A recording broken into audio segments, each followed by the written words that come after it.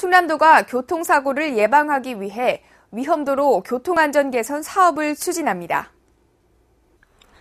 교통사고 사상자 절반 줄이기를 목표로 126억 원을 투입해 추진되는 이번 사업은 급커브, 급경사 등 개선이 시급한 도내 위험도로 33개 지구를 대상으로 실시됩니다. 도는 본 사업이 완료되면 해마다 교통사고 발생 건수가 3%에서 5% 정도 감소해 약 3,300명의 어린이, 초등학생 등이 교통사고 위험에서 벗어날 수 있을 것으로 전망하고 있습니다.